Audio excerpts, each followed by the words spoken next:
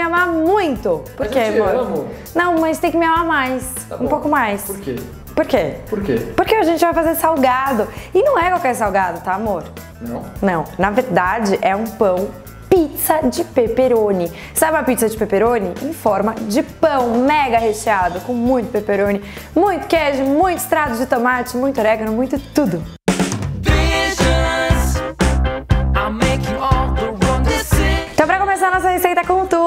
Gente vai preparar o pré-fermento do pão, que é muito simples, não tem nada de difícil. Esse pré-fermento nada mais é do que o fermento biológico seco que eu vou colocar direto no bowl. Depois a gente coloca um pouquinho de água morna, um pouquinho de farinha e um pouquinho de açúcar. Agora que a gente já colocou todos os ingredientes do pré-fermento aqui no bowl, a gente vai mexer e depois levar para descansar 20 minutinhos lugar bem quentinho, porque aqui em São Paulo tá bem frio.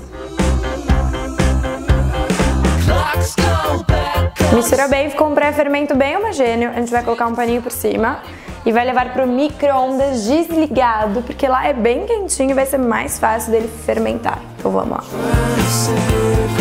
Acabei de deixar o pré-fermento lá no micro-ondas e voltei da cozinha com a tábua, a faca e o ralador pra gente ralar a mussarela e cortar o pepperoni. A mussarela eu comprei em peça porque é mais fácil da gente ralar depois. No supermercado é só você pedir pra pessoa que tá fazendo ali os frios uma peça de mussarela.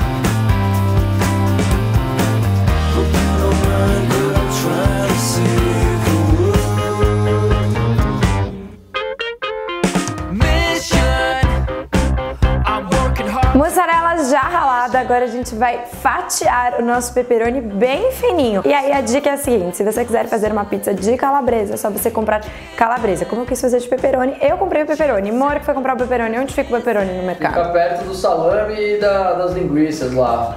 Na dúvida você chama alguém, né, gente? Chama alguém, onde é que tem pepperoni aí? Aí a pessoa pega pra você. Fiz, né? Eu não sabia onde tinha pepperoni. Eu também acho que foi o que você fez. José. A quantidade é um pouco a gosto, tá? Mas toma cuidado pra você não colocar muito pepperoni pra não ficar muito enjoativo e nem muito forte. Então aqui eu vou colocar mais ou menos metade desse pepperoni. Se você achar muito também, você pode colocar um pouquinho menos.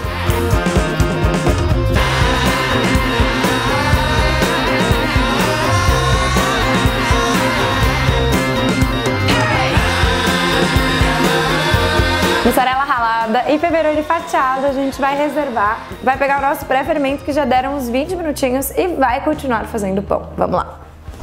20 minutos certinho no relógio, deu pra ver que ele deu uma crescidinha. Agora a gente continua fazendo pão, que é fácil, muito fácil. Eu adoro fazer pão.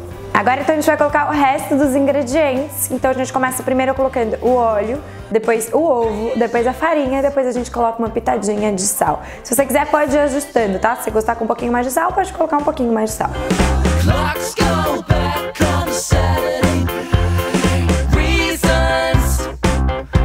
Agora, força no muque, bora sovar esse pão.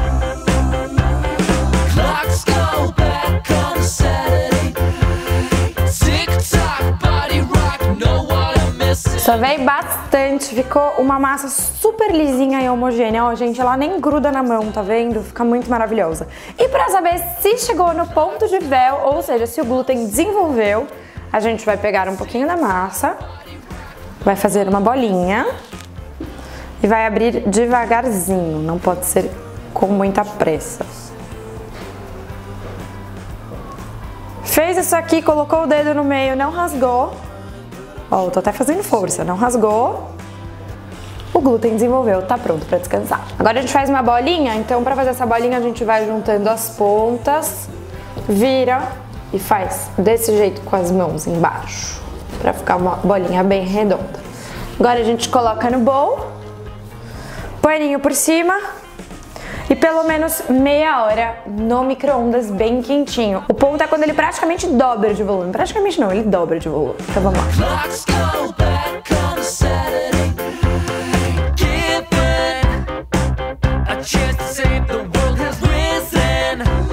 A massa já descansou. Aqui, como tá bem frio em São Paulo, eu deixei uma hora no micro-ondas desligado, tá? Aí a gente vai tirar aqui da travessa, vai transferir para nossa mesa e vai abrir, vai esticar bastante ela, só não deixa muito fina.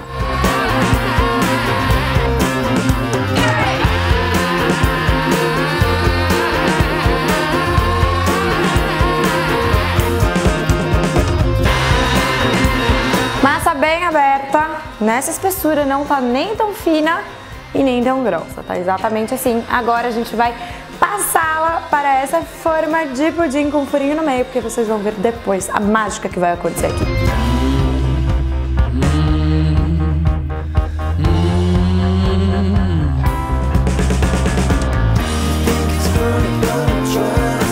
Depois que a gente já colocou, a gente vai colocando a massa assim para baixo para acomodar bem e deixar a massa em todo o entorno da nossa forma, tá? Aqui eu tô com extrato de tomate. Eu sempre gosto de usar o extrato de tomate porque ele é bem mais concentrado que o molho, tá? E fica mais gostoso.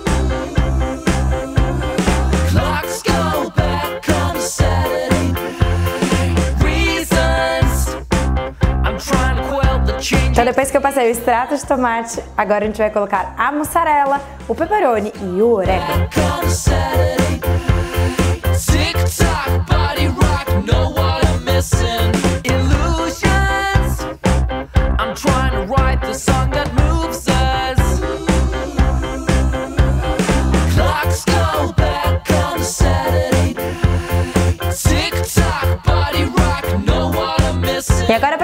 Nosso pão pizza é o seguinte, a gente vai pegar o meinho, vai abrir com os dedos e as laterais a gente vai unir e vai cavocando no meio, exatamente do jeito que tá aí. E agora uma geminha de ovo por cima para ficar bem bonitão e bem brilhante. Try